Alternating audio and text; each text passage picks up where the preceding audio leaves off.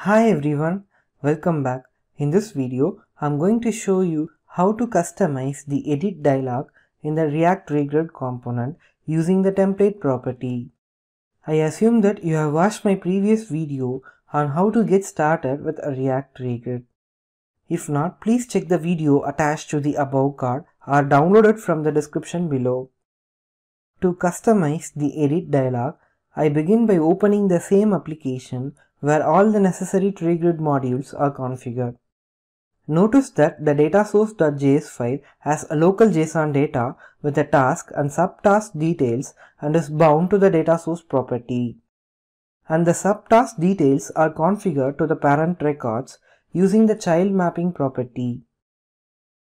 I have mapped a few columns from the data source to be displayed in the tree grid using the columns directive. I also enable the toolbar with edit options and set the edit mode to dialog. Let me run this application now. See, the tree grid is rendered with the local JSON data.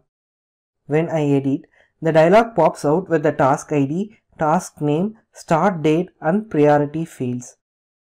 I can add the new field editors to the dialog that are not present in the column model using the template property. Here I am going to show two additional fields, duration and approved that are not present in the columns directive. Let's move on to the template part. In my customized dialog, I will render the following components. Text box for the task ID and task name columns, drop-down list for the priority column, date picker for the start date column, numeric text box for the progress column, and checkbox for the approved column. First, I create a new file and name it as dialog template. Then I define the React functional component dialog form template and return the template which I am going to use in the edit dialog. In the first row, I render the text boxes for task ID and task name fields.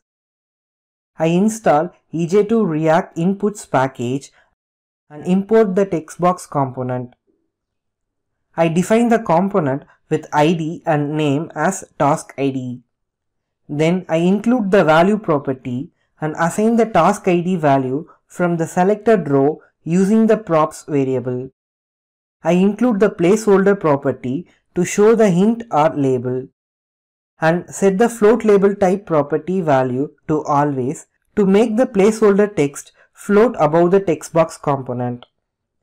In the same way, I define the text box for the task name field. Next, in the second row, I'm going to show date picker for the short date field. To use date picker, I install the EJ2 React Calendars package and import the date picker component. Inside the date picker, I include the required properties like ID, name, value, placeholder and float label type. For the progress field, I use the numeric text box component. I import it from the EJ2 React Inputs package and add the required properties. In the third row, I had a drop-down list for the priority field. To use it, I need to install the EJ2 React dropdowns package and import the dropdown list component. Apart from the common properties like name and value, I need to define two additional properties, data source and fields. To fetch the distinct priority data from local summary data, I use datautil function from the EJ2 data package and assign this variable to the data source property of the dropdown list. Then I include fields property to map the priority column from the summary data and bind its data to the dropdown list component. Next, I render a checkbox for the approved column. To do that, I install the EJ2 React Buttons package and import the checkbox component. For this component, I include the required properties like ID, name and checked. Then I add the label property and set its value to approved and its label position to before.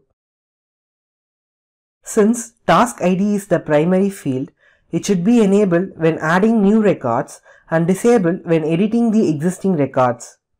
I achieve this using the isAdd boolean property. I include the enabled property and assign the isAdd boolean value from the selected record to enable or disable the text box component. I add few styles to the TD element to align the fields. The template design is over. Finally, in the app component, I create a new dialog template function. Then I return the custom template that I have defined so far. I assign this method to the template property of edit options. Look at the tree grid that dialog pops out when I double click the existing record.